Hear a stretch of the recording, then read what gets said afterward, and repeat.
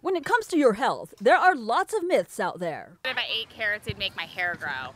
Put potatoes on the bottom of your foot to reduce fever. Garlic's good for your blood. But some of those old wives' tales have actually been proven by research. First, you might have heard carrots are good for your eyes. A study found people who ate high levels of carotenoids, which are found in carrots, had a 40% lower risk of developing advanced macular degeneration.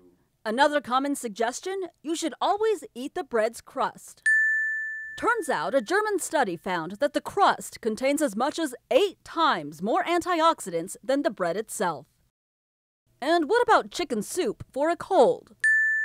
Researchers found that ingredients in chicken soup have a mild anti inflammatory effect.